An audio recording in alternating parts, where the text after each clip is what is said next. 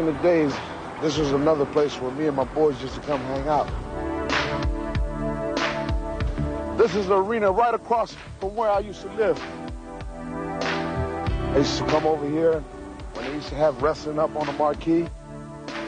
As the people were coming through here, we used to dance trying to make enough money just to get in here to watch some of the all-time greats in the Hall of Fame today. You know, I start stuttering a little bit because I feel a little bit shaky. I feel the vibes coming through here. But you know what? I ain't got to stand out there no more. I'm going to take myself to another level. Because I decided to go the right way, because I decided not to do drugs, and because I decided to stay in school, this is where I want to wrestle, in front of my hometown. But you know what? Before you take a step forward, you got to take a step back and remember where you came from. Never forget who you are. Remember, keep hope alive. Make a difference.